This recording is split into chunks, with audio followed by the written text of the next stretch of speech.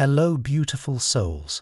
I'm getting that as you channel that energy or put that energy into something constructive or creative or passionate for you personally, you will actually feel a lightening of your own energetic field.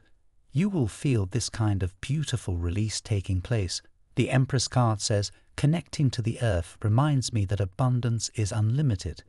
So, for many divine feminines listening here, you may be feeling really guided to spend time in nature, specifically to spend time in the sun. The sun, the energy of the sun, holds a lot of very high frequency information, but is sometimes referred to as light codes. And this is why sometimes, when you spend time in the sun or outside, you feel more creatively inspired.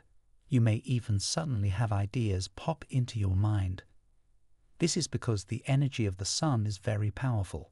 It really fuels us and inspires us at deep energetic levels. This is you coming into your true divine feminine nature and essence.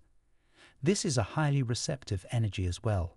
I keep picking up, and I got this download prior to this recording as well, that for divine feminines listening, you have been feeling a lot of pent up energy within yourself, and this could be coming in the form of frustration, irritation, tension, whatever this pent up energy is. You are meant to be channeling that pent up energy into something highly creative, into outlets of creation. Now, of course, that will vary from person to person, so your personal creative outlet will be different from another person's. But I feel as though if you're feeling that tension, pressure, sadness, pent up energy that is meant to go into your art or your passion or some kind of material outlet of creation, and it's almost like when you get into that state of tension, what you're really feeling is all this pent up creative energy that desires to be channeled into something physical.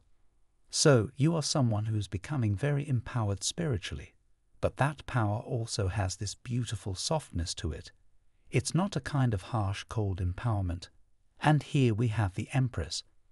Now let's pull a few final messages from your guides since they seem to be so talkative in your daily life, or at least when it comes to this specific connection. However, unlike traditional spoken affirmations, these affirmations are embedded within other meditation sounds and different frequencies. The purpose of this masking effect of the affirmations is to allow them to bypass the conscious filter of your mind and sink down to those subconscious layers of the mind because research has shown that the subconscious actually controls 95% of our thoughts.